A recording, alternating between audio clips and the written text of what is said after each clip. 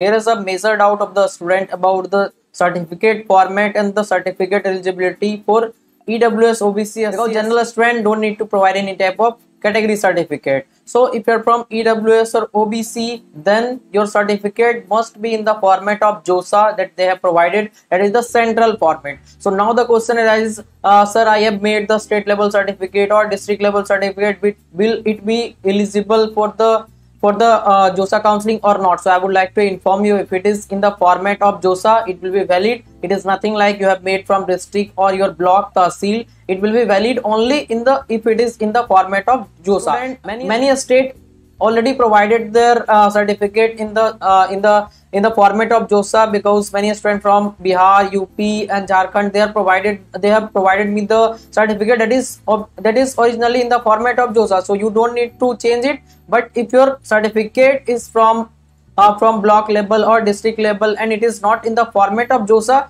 then you have to make it in the format of JoSAA and it should be after 1st of April. So I think you got the clarity over it. And, and for PWD candidate your original certificate will be valid no need to provide any type of format because that was required for the advanced registration. But now if you will provide original document that is original certificate pwd certificate in the physical verification as well as after getting seat you have to upload the document. There also you can upload the original certificate. So hope you get my information very useful for you. So please try to subscribe this channel so you will be getting this type of update at the right time in the same channel about all the counseling. Thanks so now I would like to introduce the Filo app where you can get the solution of all your question, doubt or you have problem with any type of concept related to JEE or NEET or boards examination. Then you can get the solution 24 by 7 with these three easy steps. That is first you have to download the filo app in the play store and then you have to do the sign up process using your mobile number. And after that take the photo of your question and upload that in the app. And after that within 60 seconds you will be connected to the india's best educator. question